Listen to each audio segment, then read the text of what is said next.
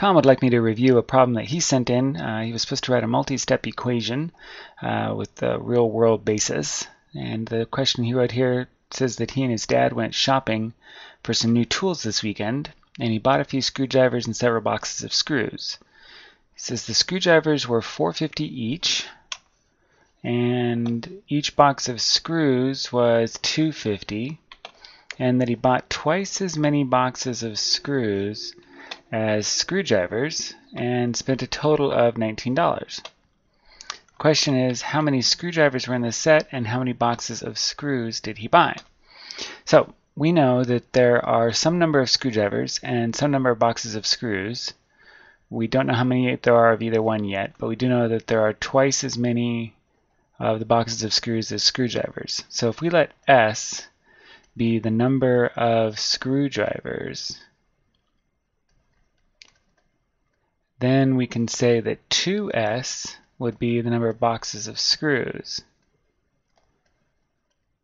since there are twice as many of those.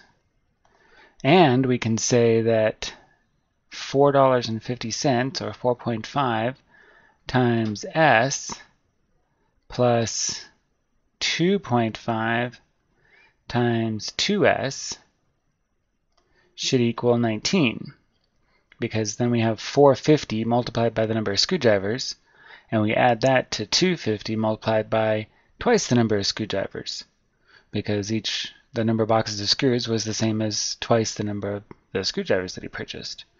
So then that equals $19. So we should be able to use this to solve for s so if we distribute our 2.5 to our 2s, then we get 4.5s plus 5s equals 19.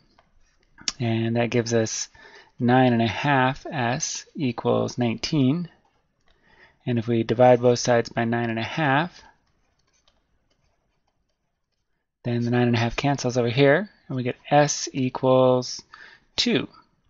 So that tells us that he bought two screwdrivers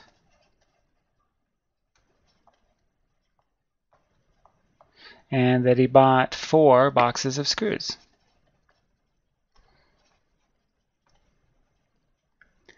And yeah, Tom, I think that works just fine. You have, you have uh, one step here where you have to distribute and then combine like terms. And then your next step here requires division. So I would say that that actually qualifies as probably at least three steps uh, with the with the distribution and then the addition and then the division. I think that probably qualifies just fine. And as a matter of fact, you could probably even call the the last step here where we take the 2 and substitute it in for the 2s here to figure out how many boxes of screws there. I mean, we did that in our head, but that's really another step as well. So yeah, I think that I think that works very well. Nice job.